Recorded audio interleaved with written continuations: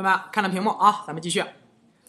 刚刚呢，我给大家验证了一个特点，即如果我用了一下 copy 模块里边这个 copy 功能，那么最终体现出来的效果是让 e 指向了一个新的列表，但是这个列表里边指向的东西还是指向原来的。这么说理解了吧？那么其实这就叫做前拷贝。怎么理解前拷贝啊？我再说一遍，一定要听，一定要理解，不要去死记硬背。什么叫做前拷贝？你让我考谁，我考谁；你让我考谁，我考谁。好了，你让我考谁呢？你让我考 C，OK，那我就老老实实去考 C 呗。我去考 C 的时候就牵扯这个问题：如果 C 里边 不是普普通通的数字，不是普普通的字符串，而是这种列表呢？你是把我指向的这个列表拷贝呢，还是不拷贝？请问是不是就有个问题了吧？什么叫前拷贝？你让我考 C，我就把 C 里边东西原封不动拷一份出来。至于里边指向的数据一点不变，我一点也不考，我只考最上面这层。那么这就是 copy 的功能实现了，就是前拷贝。最终的结论是不是这里边的东西还是指向这个？这里边的东西是不是还是指向这个了吧？这就是前拷贝，这就是前拷贝。那么同学们，你如果要是这样做的话，有很多种情况，是不是这种时候意味着数据只要一改，我这个列表里边是不是也变了呀？我就不想这么做，我就复制，我就把想所有的都复制完了，怎么做的呢？这就要说接下来的东西深拷贝了，这就叫浅的，和它对应的那哥们是不是叫深的了吧？那深的怎么理解呢？把 copy 换成 deep copy，就是把我现在选的这个换成 deep copy。好了，同学们，接下来咱们再试一下啊，a 幺幺二二。我再来一遍，b 三三四四，刚刚没有听清楚的同学注意看了，c 等于 a 逗号 b。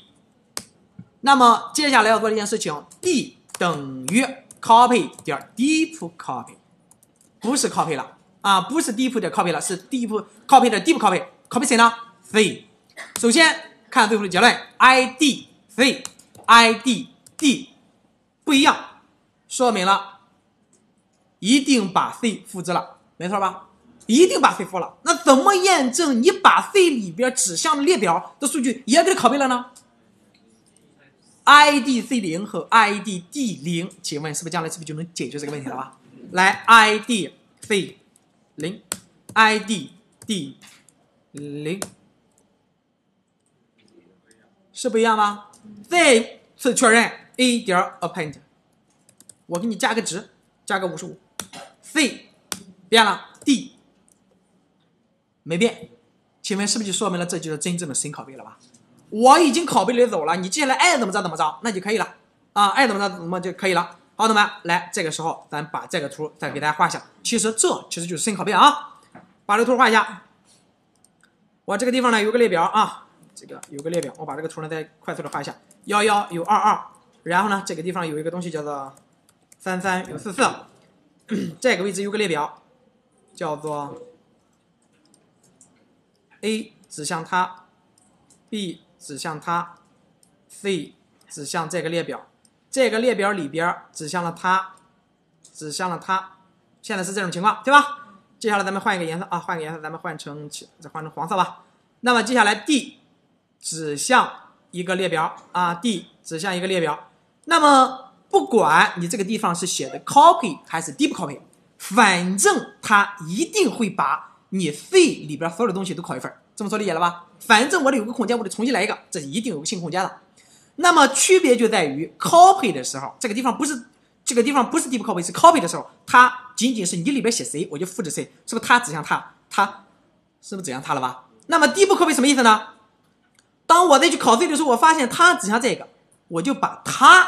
注意了，我把它复制出来，那么我在这个地方有一个新的列表幺幺二二，然后呢，让我的这个地方指向这个新列表，然后呢，我又发现了你这个元素指向的又是个列表，我就把你的三三四四这个列表呢也复制一份放在这儿，最后呢，让我这个地方指向它，请问是不是咱们最终验证出来这个结果了吧？你把这个改成了幺幺二五五，那么这里边仅仅是添加了一个五五，但是这个里边是不是根本就不会添加呀？这样的东西叫做什么呢？深拷贝，有这个感觉了吧？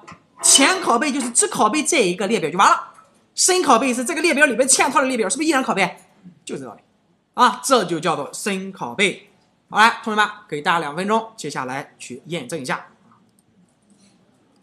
这就是深拷贝啊，验证一下。